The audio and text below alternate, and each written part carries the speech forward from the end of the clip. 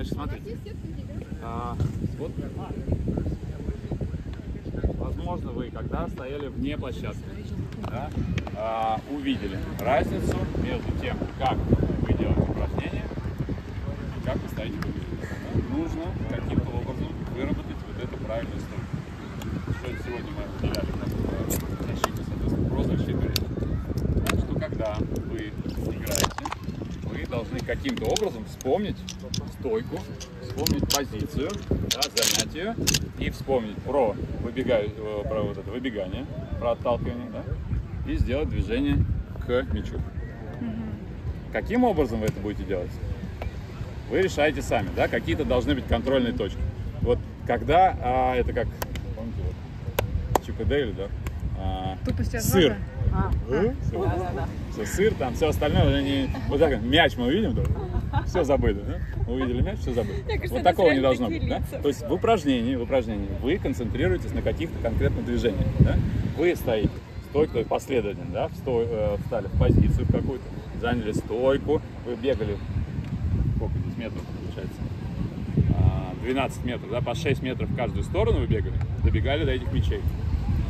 В игре встали, стойка другая совершенно. Все, мы не можем, там, не то что 4 метра, мы не можем там 2 метра пробежать. Да. Все зависит от того, как, как вы стоите и что вы предполагаете Да. делать. Для этого мы потихонечку, потихонечку разминаемся, разминаемся. Языки разминают. Да. Мы, разминаете. нам, да? Да, да, да. да. Значит, из 4 метров мы делаем выбегание, да, в одну сторону, в другую, в одну, в другую. Каким-то образом, каким-то, хотя бы вот таким количеством повторений, да, у, у каждого это количество свое. У кого-то это 100, у кого-то это 1000, у кого-то это 10 тысяч. да. Вот когда вы достигнете вот этого критического количества повторений, да, у вас все начнет вставать в автоматический режим, и вы будете выходить на площадку и там пытаться вот это. Вот этого нужно добиться. Как в ваших интересах этого добиться как можно быстрее. Да? Соответственно, вот эти количества повторений нужно сделать как можно раньше. Поэтому встали делаем. То же самое с другими повторениями. Еще раз. Вот, а, а, я вам уже объяснял, наверное, да, чем отличается там а, тренировочный процесс от а, спортивной школы.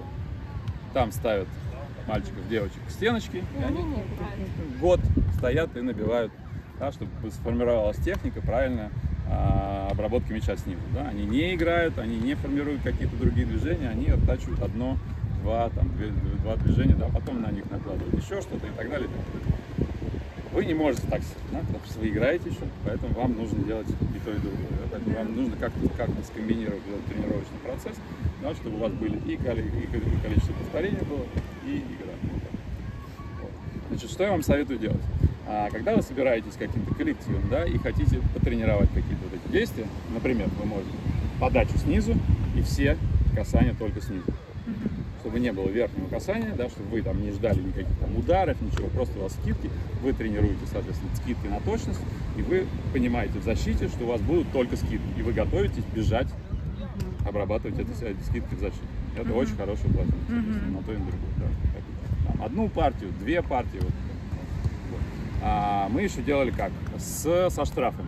То есть, если у человека, он получил передачу, например, да, вторую, у него есть третье касание, и он имеет возможность этот мяч отправить в половину соперника, но ошибается при этом движении, он делает там три приседания. Снизу ошибается, в смысле.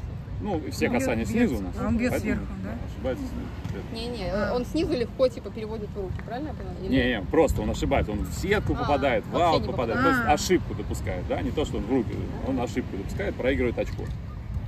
Все, он делает три приседания. Вроде немного, но как бы там все равно есть какой-то стимул, да, не делать это. Вот, и потихонечку, Кокос. потихонечку вы начинаете что делать. делали.